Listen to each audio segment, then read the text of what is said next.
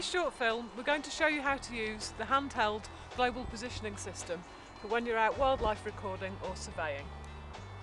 Before we start it may be useful for you to know what a GPS actually is and where it gets its information. GPS or Global Positioning System gets its information from 24 satellites orbiting the Earth.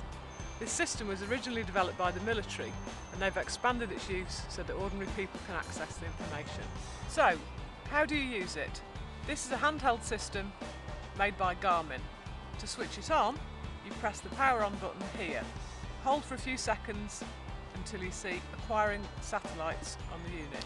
Towards the bottom of the screen, you'll see a bar indicating signal strength.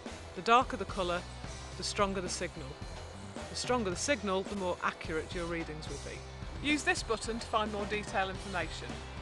The compass page will show direction of travel. The map page shows your current location and the direction of travel. From here you can save map locations. This is really useful if you're surveying a large area and you want to log several grid references. From the main menu you can also access additional information such as a stopwatch and a calculator.